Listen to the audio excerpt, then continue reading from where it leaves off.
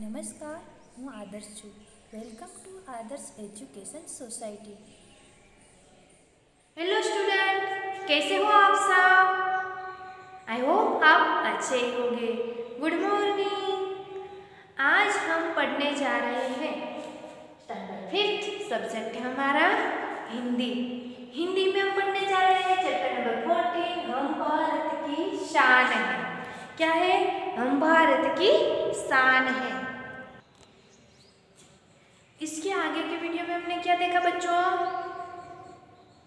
मस्त मज़ेदार सॉन्ग कौन सा सॉन्ग भूल गए यार चलो याद दिलवा देती हूँ। आप तो मुझे याद करवाओ आपको पता नहीं है? झांकी हिंदुस्तान की। नन्हे नन्हे, हमें न समझो, हम भारत की शान है। वो हम पढ़ने जा रहे हैं। इससे पहले हमने क्या पढ़ा? हम भारत की शान से पहले झांकी हिंदुस्तान की, इस मिट्टी से तिलक करो, ये धरती है बलिदान की। वंदे मातरम वंदे मातरम। जलियावाला बाग की बात की गई है, उत्तर में हिमालय है हमारी रक्षा करने के लिए। नीचे सागर चरणों को धोता है, किस किसने बलिदान दिया है तो हम भी भारत की शान बनेंगे, ऐसा ही काव्य हम पढ़ेंगे ओके? इस ओर शब्दार्थ है, जो काव्य में आने वाले हैं। और इस ओर मुहावरे हैं। पेज नंबर सब लोग निकालो 97 चलो, मैंने निकाल लिया। आपको दिखा दो यस ये है पेज नंबर 97 नहीं नहीं, हमें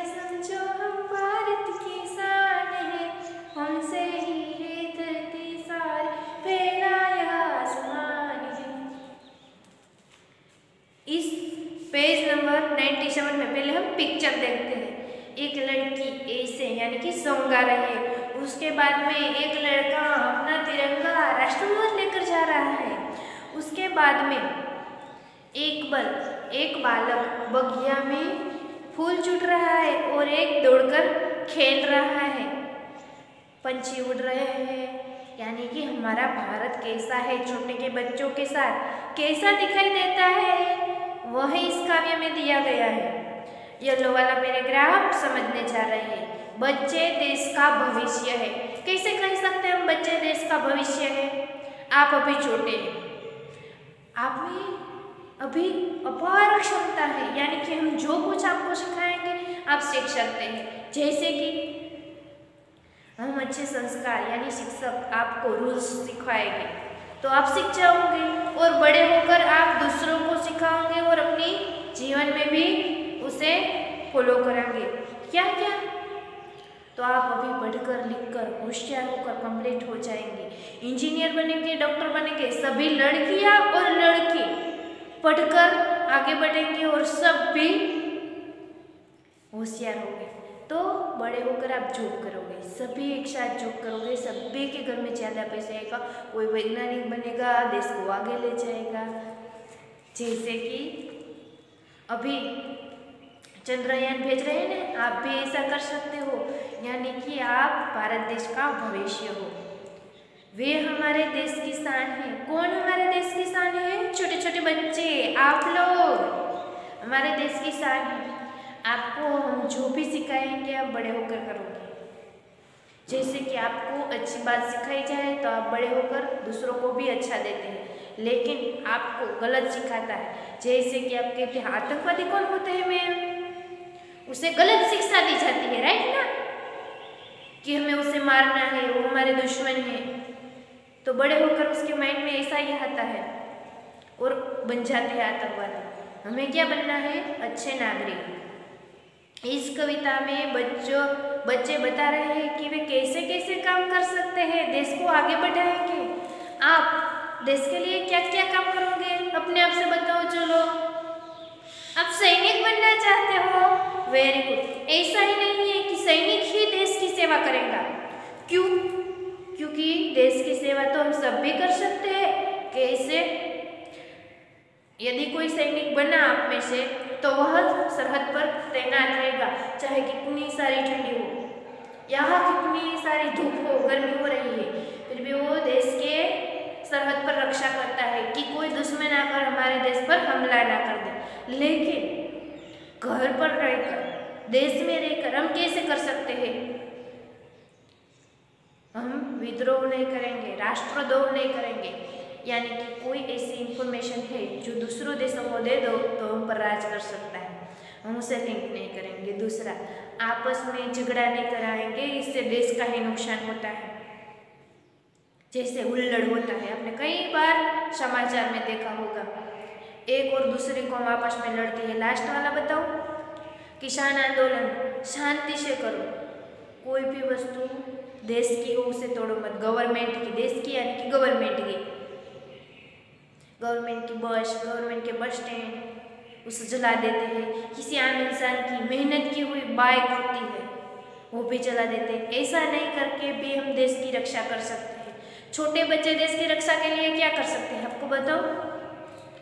जहाँ पर भी आप बगीचे में जाते हो चाहे शौचालय में जाते हो, बस स्टेशन पर जाते हो, कहीं पर भी खुला नल है, टपकता हुआ नल, उसे बंद कीजिए। इधर उधर कचरा ना फेंके, डस्टबिन में ही डाले। तो हुई ना देश की सेवा? क्यों? कैसे देश की सेवा हुई? चलो मुझे बताओ। इधर उधर आप कचरा फेंकेंगे। गंदगी फैलेगी, रोग फैलेगी, सबको नुकसान होगा। हमारे देश का बच्चा छोटा छोटा वो बीमार हो जाएगा। तो हम क्या कर सकते हैं? हम छोटी छोटी सेवा कर सकते हैं। कौन सी सेवा होती है आपको पता है? आप अपने घर के रूम से बाहर निकले और लाइट और पंखा बंद करें। वो भी देश की ही सेवा हो सकती है। क्योंकि सब ऐसे करेंगे तो कितनी सारी विद्युत बच जाएगी और इसको हम दूसरी फैक्ट्री में या इस्तेमाल कर सकते हैं। जिसको पढ़ने के लिए लाइट नहीं मिलती है, उसके घर में विद्युत पहुँचेंगे। होगा ना? तो आप ऐसे में तो कर सकते हैं ना। जब हमें ज़रूरत नहीं है तो वो वस्तु लाइट पंखा कूलर एसी सब बंद रखेंगे। वो भी एक प्रकार से देश की सेवा ही हुई। यानी कि सैनिक बनकर ही देश की सेवा करना, ऐसा कोई रूल्स नहीं है। इसके नीचे, नन्हे नन्हे, हमें न समझो, हम भारत की शान है। शान किस? प्रतिष्ठा, गौरव। हम देश की प्रतिष्ठा है। हम छोटे छोटे इससे हमें छोटे न समझो। हम भी भारत की प्रतिष्ठा है, गौरव है। कैसे मैंने अभी आपको बिल्ली वाला उदाहरण दिया? आप भी देश की सेवा कर सकते हो ना? उसके बाद का है, हमसे ही है धरती सारी फैला यह आसमान। हम छोटे छोटे हैं, देश का भविष्य है। हमें छोटे ना समझो, हम बड़े जैसे काम कर सकते हैं। जैसे कि बड़े हुए, वो कचरा डस्टबिन में नहीं डालते, लेकिन हम उसे सिखा सकते हैं। फैला यह आसमान है। हम पूरे भारत की शान बनेंगे। हम तिरंगा, जैसे एक एग्ज़ाम्पल मैं आपको दे दूँ हमने आगे फिफ्थ में ही आगे बढ़ा। कौन सा कविता? नन्ना मुन्ना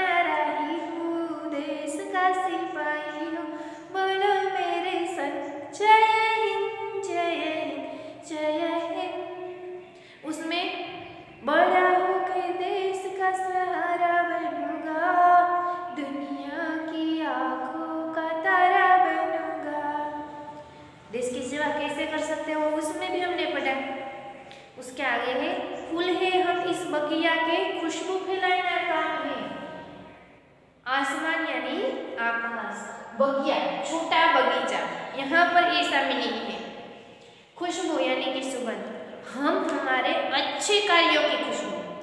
फूल है हम इस बगिया के, यहाँ पर बगिया मीन्स हमारा देश लिया गया है हमारा देश छोटा सा देश, क्योंकि पूरी दुनिया घूमोगे तो हमारा देश छोटा बचेगा ना। खुशबू फैलाना काम है, यानी कि हम फूल तो नहीं है ना तो खुशबू फैलाएँगे। अच्छे कार्यों से हम अपनी शान बढ़ाएँगे। कौन से कौन से अच्छे कार्य आप छोटे हैं तो आगे भी मैंने अच्छे कार्य और बुरे कार्य। दोनों बताए थे, उसमें से लाइट बंद करना टपकते नल बंद करना, स्वच्छता रखना। वो सभी कार्य आप करके बड़े होकर बड़े बड़े कार्य करेंगे। जैसे कि स्वच्छ भारत का मिशन कंप्लीट करेंगे। तो आपकी अच्छी क्रांति आपकी अच्छी खुशबू हर एक जगह फैलेंगी। बढ़ चढ़ कर आगे जाएँगे, करते काम महान है। धीरे धीरे बढ़ चढ़ कर हम आगे जाने हैं। यहाँ पर खुशबू फैलाने का मतलब है प्रतिष्ठा प्राप्त करना। जैसे लाइव उदाहरण नरेंद्र मोदी ने कितनी प्रतिष्ठा प्राप्त कर ली? जैसे कि स्वच्छ भारत वाला पहला चलाया और उसको कितने लोगों ने फॉलो किया? वैसे भी आप बड़े होकर मोदी जी बनोगे और देश को आगे ले जाओगे। बनोगे ना? क्यों? कोई तो होना चाहिए ना पूरे देश को संभालने के लिए। मोदी जी नहीं बनोगे तो कोई बात नहीं है। अपने इलाके में स्वच्छता रखना तो आपका काम होगा ना। किसी जरूरियातमंद को ज़रूरत पूरी करो। ओके फूल है बढ़ चढ़ कर आगे जाएँगे, करते काम महान है हम महान काम करेंगे। कौन कौन से? हम वैज्ञानिक बनेंगे। दूसरे ग्रह पर कैसे चाहता है, जाना चाहिए, वो भी हम कर सकते हैं, जैसे सुनीता विलियम्स। आपको आगे बढ़ने में आएगा। लड़कियाँ भी ऊपर तक पहुँच गई है तो आप भी पहुंचोगे। उसके आगे का है ऊँचे ही उठते जाना है, आगे ही बढ़ते जाना है। यानी कि हम प्रगति करते जाएँगे, प्रगति ही करते जाएँगे। ऊँचे ही बढ़ते जाना है, ऊँचे ही उठते जाना है, आगे ही बढ़ते जाना है। आगे बढ़ना मीन्स ऊँचे उठना, यानी कि प्रगति करना, उन्नति करना। आप क्या प्रगति कर सकते हो? फोर्थ क्लास में आपने इतनी मेहनत की, इतनी मेहनत की, फिफ्थ क्लास में आने के लिए अच्छे से अच्छे परसेंटेज आप लाए। वो भी प्रगति ही की आपने। फिफ्थ में उससे भी ज़्यादा मेहनत करेंगे, उससे ज़्यादा परसेंटेज लाएँगे। और उससे भी अच्छा एक वाक्य आपको कहूँ, अच्छे नागरिक बनो। अपने घर में सभी की हेल्प करो, आसपास में सभी की हेल्प करो। आपके क्लास में कोई बच्चा ऐसा है कि जिसको आपको क्वेश्चन का आंसर पता है और उसे याद ही नहीं रहता है। आप ऐसे करो, आप ऐसे करो। छोटा सा एक एग्ज़ाम्पल दूँ। सभी ब्रेक में नाश्ता करने के लिए जाते हैं लंच तो कोई गिर गया और उसका सभी नाश्ता इधर उधर फैल गया तो आप अपने बॉक्स में इसे खिलाओ। वो भी एक आपकी अच्छी हैबिट होगी। ओके ऊँचे ही उठते जाना है, आगे ही बढ़ते जाना है, यानी कि फोर्थ क्लास में फिफ्थ में फिफ्थ में से सिक्स में बड़े होकर तो आप जो नौकरी या जॉब कर रहे हो, धंधा कर रहे हो, उसमें भी आगे आगे बढ़ते ही जाना है हमें। बढ़े चलेंगे, नहीं रुकेंगे, हम भारत की शान है। आगे बढ़ते ही जाएँगे, बढ़ते ही जाएँगे। क्योंकि रुकना हमारा काम नहीं है। एक बार फेल हुए, कोई बात नहीं, दूसरी बार ट्राई करो। पढ़ने में नहीं है बिज़नेस में, नौकरी में, दूसरी बार ट्राई करो। ज़रूरत से ज़्यादा हो जाएगा हो जाएगा। हम भारत के हैं, यानी हम भारत के अच्छे से अच्छे नागरिक बनेंगे। ओके? हो गया ना कंप्लीट आपको जो भी समझ में ना आया, वो आप जूम मीटिंग में thank you for joining us